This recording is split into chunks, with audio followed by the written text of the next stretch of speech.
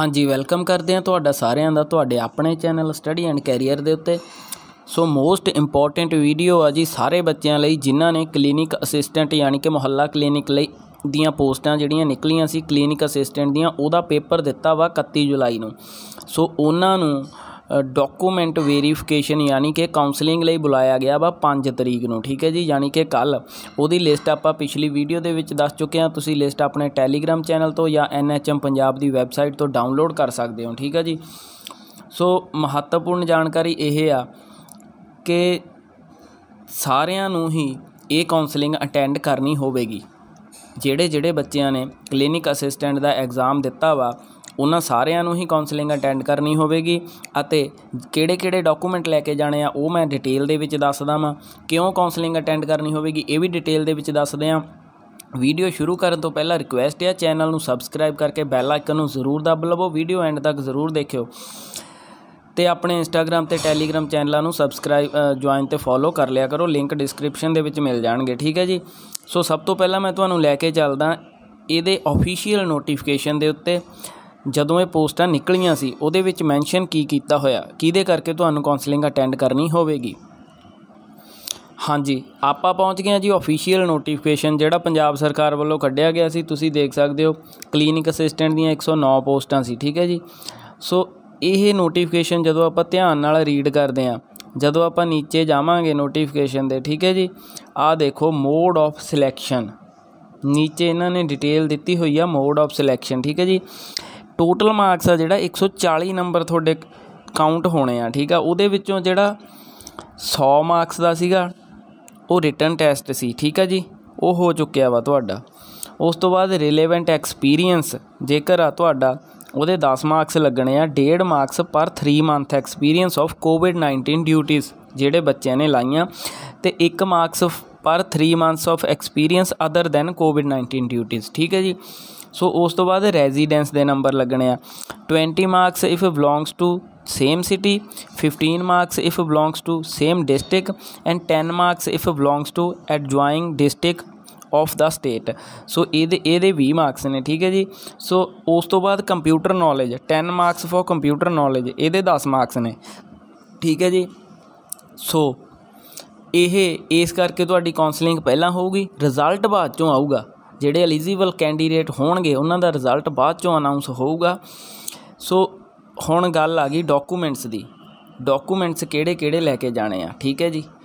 ਸੋ ਉਸ ਤੋਂ ਪਹਿਲਾਂ ਇੱਕ ਹੋਰ ਇੰਪੋਰਟੈਂਟ ਜਾਣਕਾਰੀ ਆ, ਜਿਹੜੇ ਬੱਚਿਆਂ ਕੋਲੇ ਬਾਈ ਚਾਂਸ ਕਿਸੇ ਕੋਲੇ ਪ੍ਰਿੰਟ ਆਊਟ ਨਹੀਂ ਹੈਗਾ ਜਾਂ ਕੁਛ ਉਹਨਾਂ ਦਾ ਪ੍ਰਿੰਟ ਆਊਟ ਗਵਾਚ ਗਿਆ, ਉਹ ਇਹਨਾਂ ਨੇ ਬਾਬਾ ਫਰੀਦ ਦੀ ਜਿਹੜੀ ਅਫੀਸ਼ੀਅਲ ਵੈਬਸਾਈਟ ਆ, ਉਹਦੇ ਤੇ ਇੱਕ ਲਿੰਕ ਦੇਤਾ।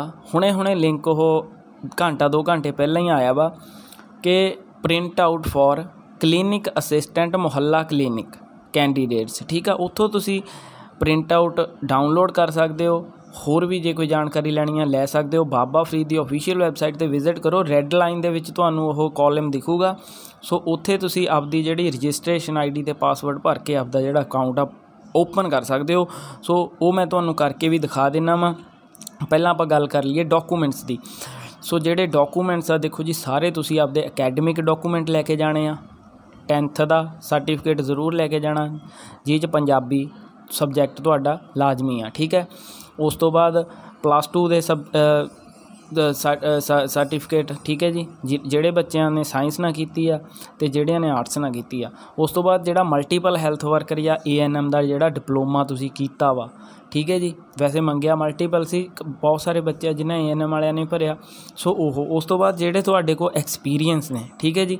ਸੋ ਇਹ ਤੁਸੀਂ ਓਰੀਜਨਲ ਡਾਕੂਮੈਂਟ ਵੀ ਲੈ ਕੇ ਜਾਣੇ ਆ ਓਰੀਜਨਲ ਜ਼ਰੂਰ ਲੈ ਕੇ ਜਾਇਓ ਨਾਲ ਤੇ ਬਾਕੀ ਇਹਨਾਂ ਸਾਰੇ ਡਾਕੂਮੈਂਟਾਂ ਦਾ ਇੱਕ ਸੈੱਟ ਬਣਾ ਲਿਓ।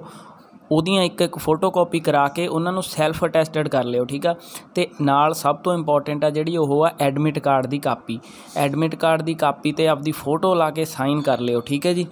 ਸੋ ਇਹ ਡਾਕੂਮੈਂਟ ਨੇ ਉਸ ਤੋਂ ਬਾਅਦ ਜਿਹੜਾ ਇੰਪੋਰਟੈਂਟ ਆ ਆਪਦੇ ਜਿਹੜੇ ਰੈਜ਼ੀਡੈਂਸ ਪ੍ਰੂਫ ਆ, ਜਿੱਦਾਂ ਆਧਾਰ ਕਾਰਡ ਹੋ ਗਿਆ ਜਾਂ ਡਰਾਈਵਿੰਗ ਲਾਇਸੈਂਸ ਹੋ ਗਿਆ, ਹਨਾ? ਇਹ ਇਹਨਾਂ ਦੋਹਾਂ ਦੇ ਵਿੱਚੋਂ ਇੱਕ ਪ੍ਰੂਫ ਆਪਦਾ ਜ਼ਰੂਰ ਲੈ ਜਿਓ ਜਾਂ ਫਿਰ ਡੇਟ ਆਫ ਬਰਥ ਦਾ ਸਰਟੀਫਿਕੇਟ ਜੇ ਹੈਗਾ। ਨਹੀਂ ਤਾਂ 10th ਵਾਲੇ ਤੇ ਹੁੰਦੀ ਆ date of birth Aadhaar card ਤੇ ਵੀ ਹੁੰਦੀ ਆ, ਵੈਸੇ 10th ਵਾਲਾ ਚੱਲ ਜਾਂਦਾ ਹੁੰਦਾ।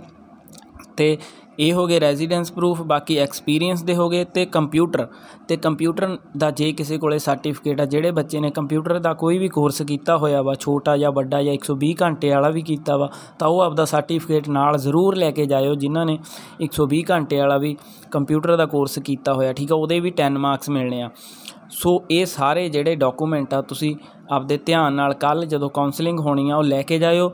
ਤੇ ਇੱਕ ਹੋਰ ਗੱਲ ਆ ਕਿ ਆਪਦੇ ਜਿਹੜੇ ਡਿਸਟ੍ਰਿਕਟ ਦਾ ਜਿਹੜਾ ਸਰਜਨ ਜਾਂ ਸਿਵਲ ਹਸਪੀਟਲ ਆ, ਜਿੱਥੇ ਦਾ ਵੀ ਤੁਹਾਨੂੰ ਇਸ਼ੂ ਲੱਗਦਾ ਵਾ, ਉੱਥੇ ਜਾਇਓ। ਇਹ ਨਾ ਹੋਵੇ ਤੁਹਾਡਾ ਡਿਸਟ੍ਰਿਕਟ ਕਿਤੇ ਹੋਰ ਆ, ਤੁਸੀਂ ਹੋਰ ਹੀ ਕਿਤੇ ਚਲੇ ਜਾਵੋ ਦੂਰ ਉਹਦੇ ਨਾਲ ਤੁਹਾਡੇ ਨੰਬਰ ਘਟਣਗੇ। ਤੁਸੀਂ ਜਿੱਥੋਂ ਤੁਹਾਨੂੰ ਪੈਂਦਾ ਵਾ ਜਿਹੜਾ, ਉੱਥੇ ਹੀ ਜਾਣਾ, ਠੀਕ ਹੈ ਜੀ? ਸੋ ਇਹ ਇਨਫੋਰਮੇਸ਼ਨ ਸੀ। ਬਾਕੀ ਹੁਣ ਮੈਂ ਤੁਹਾਨੂੰ ਬਾਬਾ ਫਰੀਦ ਦੀ ਅਫੀਸ਼ੀਅਲ ਵੈਬਸਾਈਟ ਤੇ ਲੈ ਕੇ ਜਾਣਾ ਵਾਂ। ਉੱਥੇ ਲਿਜਾ ਕੇ ਦੱਸਦਾ ਤੁਸੀਂ ਪ੍ਰਿੰਟ ਆਊਟ ਕਿੱਥੋਂ ਕਰ ਸਕਦੇ ਹੋ, ਕਿੱਥੋਂ ਡਾਊਨਲੋਡ ਠੀਕ ਹੈ ਜੀ? ਹਾਂਜੀ, ਸੋ ਆਪਾਂ ਬਾਬਾ ਫਰੀਦ ਯੂਨੀਵਰਸਿਟੀ ਦੀ ਅਫੀਸ਼ੀਅਲ ਵੈਬਸਾਈਟ ਤੇ ਜਿੱਦਾਂ ਹੀ ਆ ਦੇਖੋ 4 ਨੰਬਰ ਤੇ ਕਾਲਮ ਆ ਗਿਆ ਜੀ। Click here to take print out of Mohalla clinic recruitments ਠੀਕ ਹੈ ਜੀ? ਇੱਥੋਂ ਤੁਸੀਂ ਜੇ ਕਿਸੇ ਦਾ ਐਡਮਿਟ ਕਾਰਡ ਗਵਾਚਿਆ ਜਾਂ ਕੁਝ ਵੀ ਆ, ਇਹਨੂੰ ਓਪਨ ਕਰਕੇ, ਠੀਕ ਹੈ ਜੀ? ਇਸ ਤੋਂ ਇਲਾਵਾ ਇਹਦੇ ਤੇ ਜਦੋਂ ਕਲਿੱਕ ਕਰੋਗੇ ਓਪਨ ਹੋ ਜਾਊਗਾ। ਉਸ ਤੋਂ ਬਾਅਦ ਤੁਸੀਂ ਇੱਥੇ ਰਜਿਸਟ੍ਰੇਸ਼ਨ ਆਪਦੀ ਰਜਿਸਟ੍ਰੇਸ਼ਨ ਨੰਬਰ ਤੇ ਥੱਲੇ ਪਾਸਵਰਡ ਭਰ ਕੇ ਲੌਗਇਨ ਹੋ ਜਾਓਗੇ। ਲੌਗਇਨ ਤੋਂ ਬਾਅਦ ਤੁਸੀਂ ਆਪਦਾ ਜਿਹੜਾ ਵੀ ਕੁਝ ਦੇਖਣਾ ਵਾ ਜਾਂ ਡਾਊਨਲੋਡ ਪ੍ਰਿੰਟ ਆਊਟ ਇੱਥੋਂ ਪ੍ਰਿੰਟ ਪ੍ਰਿੰਟ ਡਾਊਨਲੋਡ ਕਰ ਸਕਦੇ ਹੋ।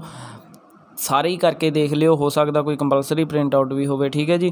ਸੋ ਇਸ ਤਰ੍ਹਾਂ ਤੁਸੀਂ ਇਹ ਡਾਊਨਲੋਡ ਕਰ ਸਕਦੇ ਹੋ। ਉਮੀਦ ਕਰਦੇ ਹਾਂ ਅੱਜ ਦੀ ਇਨਫੋਰਮੇਸ਼ਨ ਤੁਹਾਨੂੰ ਵਧੀਆ ਲੱਗੀ ਹੋਊਗੀ। ਸੋ ਸਾਰੇ ਕਲੀਨਿਕਲ ਅਸਿਸਟੈਂਟ ਵਾਲੇ ਬੱਚੇ ਆ ਜਿਹੜੇ, ਉਹ ਵੀਡੀਓ ਨੂੰ ਅੱਗੇ ਸ਼ੇਅਰ ਜ਼ਰੂਰ ਕਰ ਦਿਓ ਕਿਉਂਕਿ ਕੋਈ ਵੀ ਬੱਚਾ ਰਹਿ ਨਾ ਜਾਵੇ ਕਿਉਂਕਿ ਕੱਲ ਨੂੰ ਕਾਉਂਸਲਿੰਗ ਆ 5 ਤਰੀਕ ਨੂੰ, ਸੋ ਅੱਜ ਸ਼ਾਮ ਤੱਕ ਸਾਰਿਆਂ ਨੂੰ ਪਤਾ ਲੱਗ ਜਾਣਾ ਚਾਹੀਦਾ ਇਸ ਗੱਲ ਦਾ ਕਿ ਸਾਰੇ ਕੈਂਡੀਡੇਟਸ ਲਈ ਇਹ ਅਟੈਂਡ ਕਰਨੀ ਜ਼ਰੂਰੀ ਆ, ਠੀਕ ਹੈ ਜੀ? ਮਿਲਦੇ ਹਾਂ ਨੈਕਸਟ ਵੀਡੀਓ 'ਚ ਨਵੀਂ ਅਪਡੇਟ ਨਵੀਂ ਇਨਫੋਰਮੇਸ਼ਨ ਲੈ ਕੇ, ਤਦ ਤੱਕ ਲਈ ਸਤਿ ਸ਼੍ਰੀ ਅਕਾਲ, ਜੁੜੇ ਰਹੋ ਤੁਹਾਡੇ ਆਪਣੇ ਚੈਨਲ ਸਟੱਡੀ ਐਂਡ ਕੈਰੀਅਰ ਦੇ ਨਾਲ। ਵੀਡੀਓ ਦੇਖਣ ਲਈ ਸਾਰਿਆਂ ਦਾ ਬਹੁਤ ਬਹੁਤ ਧੰਨਵਾਦ।